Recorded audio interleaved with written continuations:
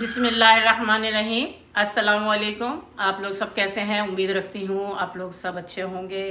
हम यहाँ पर भी सब खैरियत से है। और छोटी छोटी वीडियो डाल रही हूँ।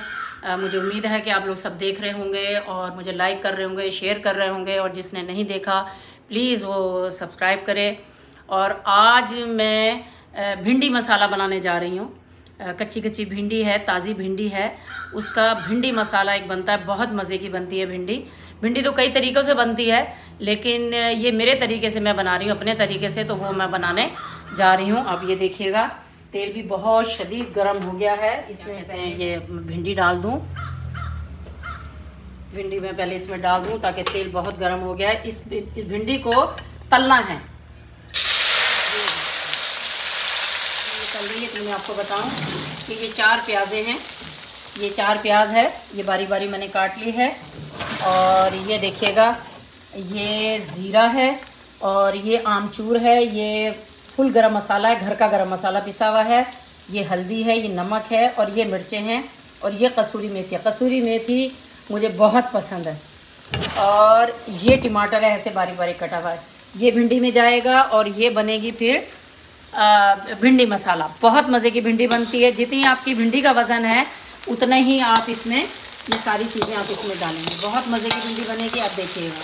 खिली खिली भी रहेगी और टूटेगी भी नहीं।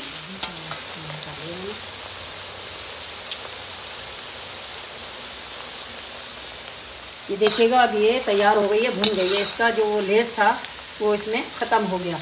अब मैं क्या करूँगी कि ये जो है भिंडी को उतार लूँगी। इसमें उतारूँगी नेट नीचे रखी हुई है, अगर देखो तेल वेल होगा तो ये इसमें सारा निकल जाएगा, सारा।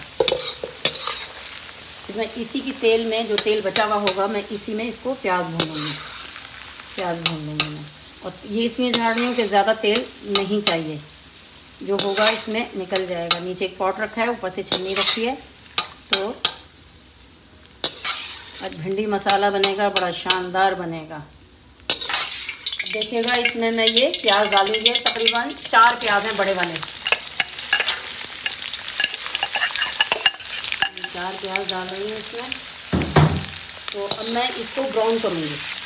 जैसे हम बिरयानी के लिए, कौरमे के लिए करते हैं ना, इसको मैं ऐसे ब्राउन करूँगी। ये आधी कच्ची, आधी पक्की नहीं जाएगी।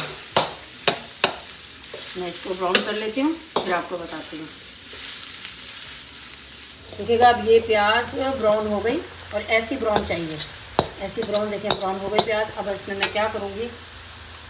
ये सबसे पहले मैं, ये मैंने लिए थे तकरीबन तीन से चार टमाटर हैं, बड़े वाले। ये मैं सारे इसमें डाल दूँगी।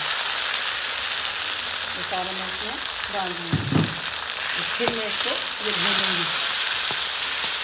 इसको भूनूँगी।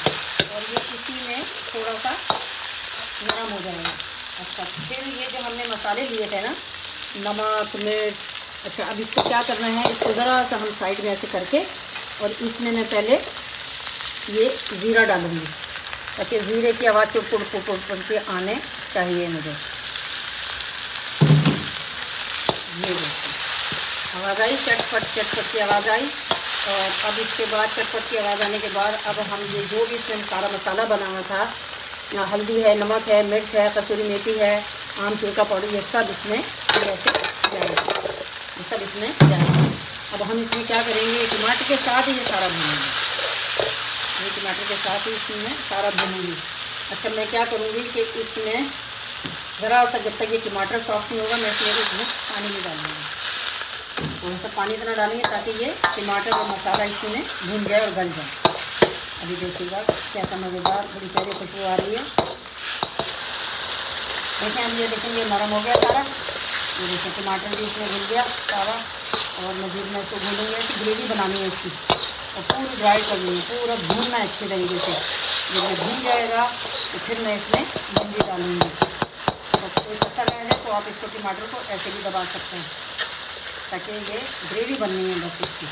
ये देखें ये होता है भिंडी मसाला। एक होती है खाली जीरा डाल दो मिर्ची को नमक डाल दो ये डाल दो वो फिर फिरी मिर्च बन जाती है। अब ये हो गया तैयार है। अब मैं इसमें क्या करूँगी कि ये देखें ये मैं भिंडी इसमें जा रही है ऐसे कैसे सारी भिंडी हो गई। और जो तेल इसका निकलना था निकल गया।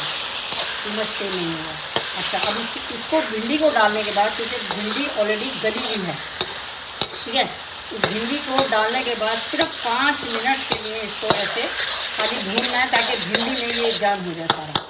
उसके बाद हम उतार लेंगे इसको। ये देखिएगा, बिल्कुल तैयार हो गई है। अब मैं इसका चूल्हा बंद कर देती हूँ। ये तैयार हो गई। अब ये इसका चूल्हा तैयार हो गया है। प्लीज़, अब अगर आपको पसंद आए, ज़रूर बनाइएगा, ज़रूर ट्राई कीजिएगा। ये भिंडी मसाला है। भिंडी कई तरीके से बनती है, लेकिन इसको मैंने प्याज भून के फिर बनाया है।